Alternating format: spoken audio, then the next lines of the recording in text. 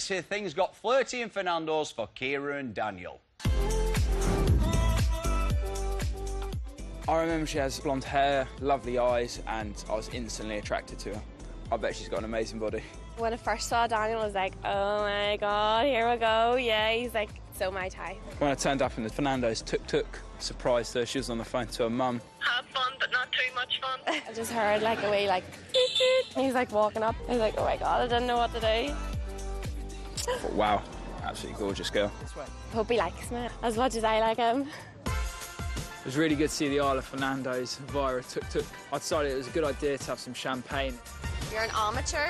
Daniel didn't know how to pop the bottle of champagne, so I had to show him a few things. You like pop it like that. I'm not sure if she was impressed. I'm gonna cover my face. it popped, it went everywhere, it got sticky hands, and the floor was soaking. Oh, we made a mess now, haven't we? I got excited and wet myself.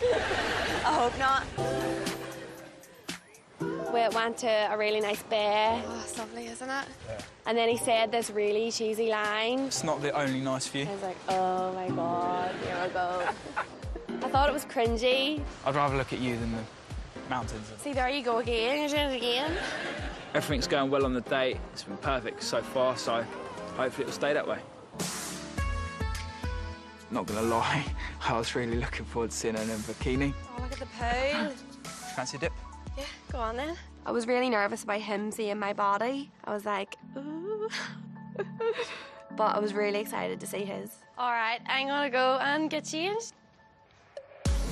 When Ciara came down to the pool, took her robe off, I thought, that was a bit hot. I was a little nervous. But when I got into the pool, had a wee cuddle, and that settled my nerves.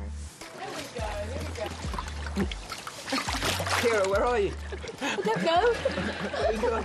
I really fancy Ciara because she's absolutely gorgeous. Great body, great smile, nice eyes. You got really hairy legs.